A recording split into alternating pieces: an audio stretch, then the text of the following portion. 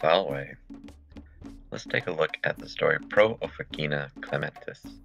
This is a simplified version of the story that you will find on page 123. Uh, simplified with beautiful pictures, courtesy of Cambridge Latin activity work, uh, workbook. Uh, let's just take a look. So you you might want to grab um, the Story Explorer and head over to um, Pro Officina Clementis. You might want to grab your book and get page 123. You might find some words that uh, I didn't gloss for you that might be helpful for you.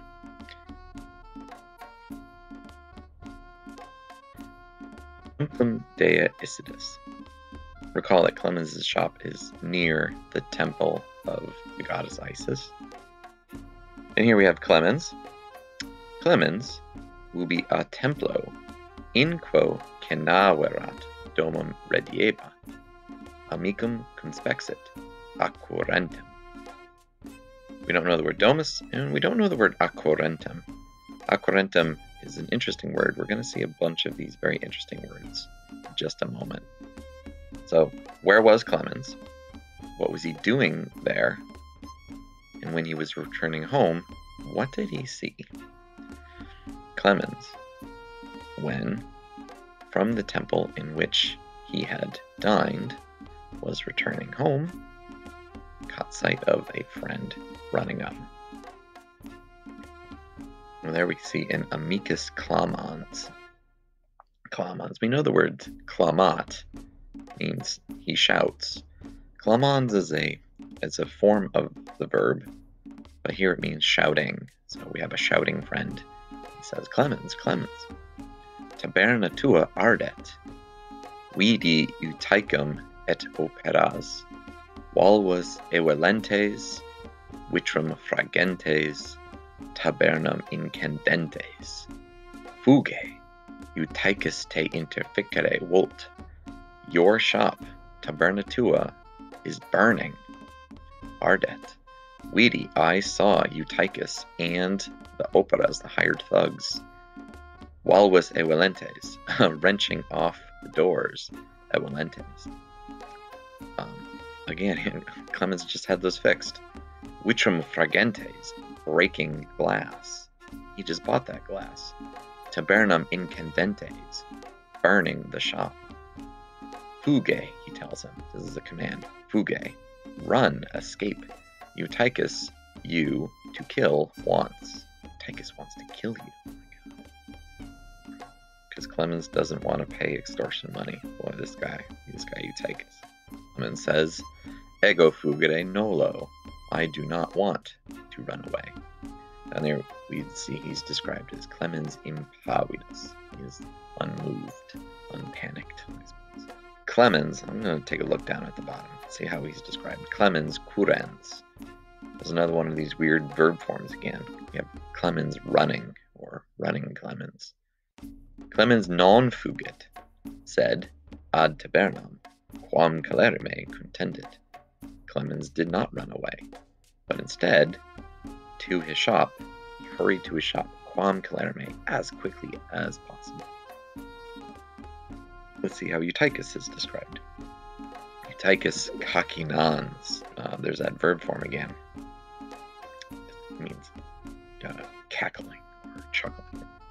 Nonne ego te de hac via manui, nonne amicos habes, quos vocare potens, pur absunt, portasse sapientiore sunt quam tu. Oh, he's got a bunch of questions here, a bunch of sarcastic questions. Nonne. He uses nonne, so he's expecting him to say yes to this.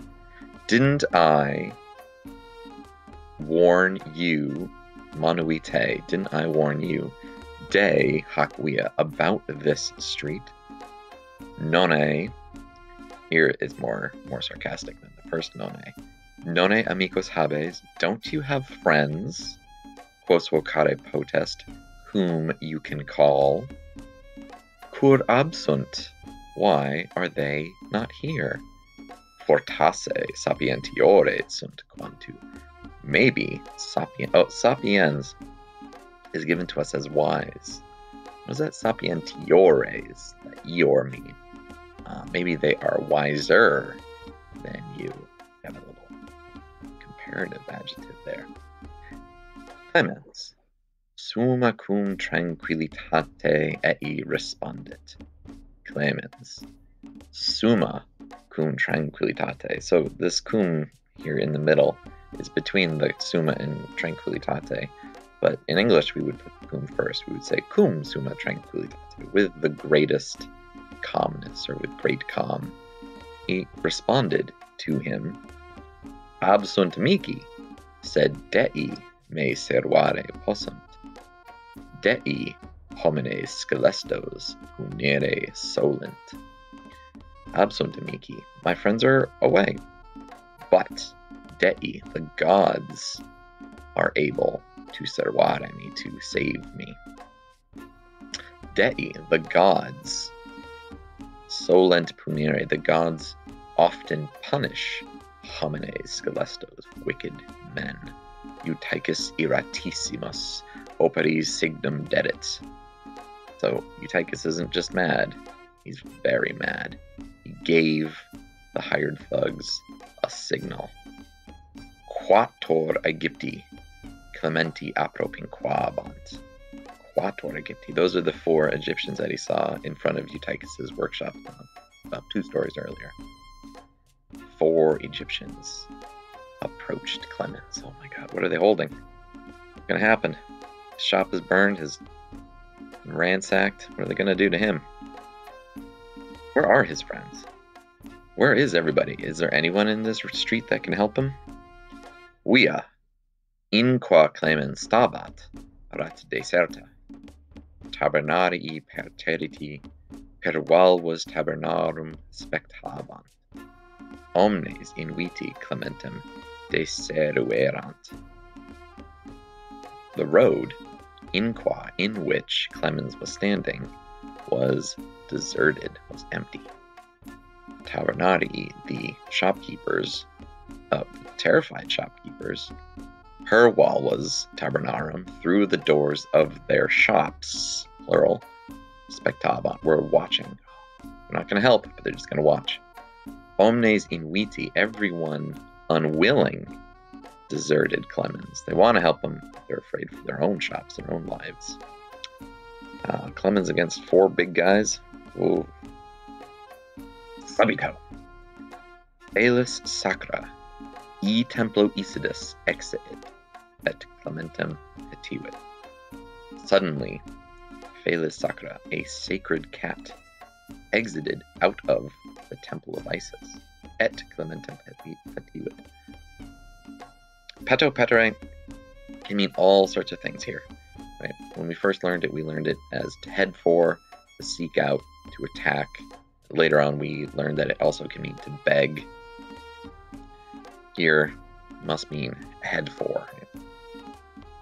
Exited the temple of Isis and headed for Clemens. This is the same cat from the story earlier that Clemens often would feed um, something out of his own out of his own plate. In manus Clementis, in siluet, in manus, in his hands, in Clement, Clemens's hands, it jumped, uh, jumped into his arms. Omnes Aegypti statum fustes abiacerunt, et ad pedes Clementis procubuerant. Omnes all of the Egyptians, statum, at once, they abiacerunt, they threw away their clubs, or they threw down their clubs, and ad pedes Clementis, to Clemens's feet, procubuerant, they fell down. They threw away their clubs and fell down at his feet because he's holding a cat. Saeviebat Eutychus, sicut Taurus Iratus.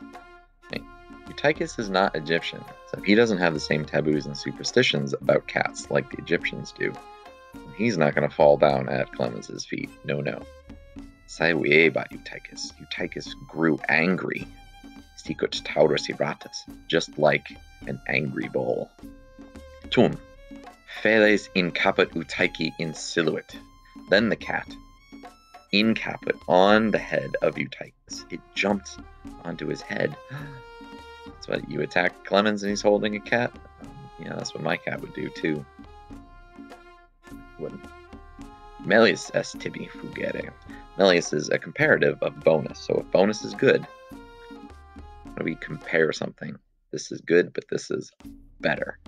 It is better, tibi, for you to escape, to run away. Eutychus, cum operis suis praeteritus fugit. Mox etiam ex orbe discessit. Eutychus, cum operis suis, with his hired thugs, praeteritus, afraid or terrified, fugit, ran away.